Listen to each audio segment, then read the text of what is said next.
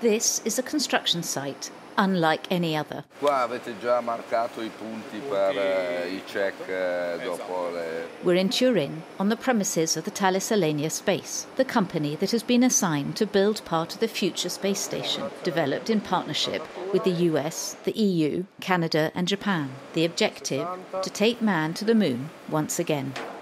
This will be the astronauts' quarters. Once they've entered the space station, the astronauts will be able to move about in three or four modules. That's important because they're not going to spend all their time here. The idea is that the time spent in the module is above all for resting and eating. The future space station, called Gateway, will be made up of seven modules. Once it's launched into the moon's orbit, this cargo module will deliver supplies twice a year. It's capable of transporting up to five tons of equipment.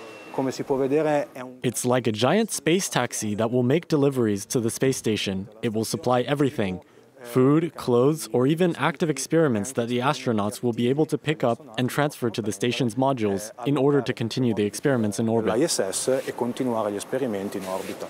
And this is what the astronauts' living quarters will look like. This is a life size model used for tests. Man's return to the moon will serve as a base for future expeditions. Gateway will serve as a technological laboratory to prepare the giant leap to Mars because the ultimate goal is to send man to Mars. In order to develop the exploration of humanity, get to know our universe, to better know space that surrounds us, and also ultimately to find alternative resources to those that are little by little running out on planet Earth.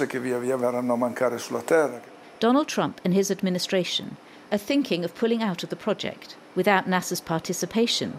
Gateway's launch into orbit, expected to be before 2030, could be compromised.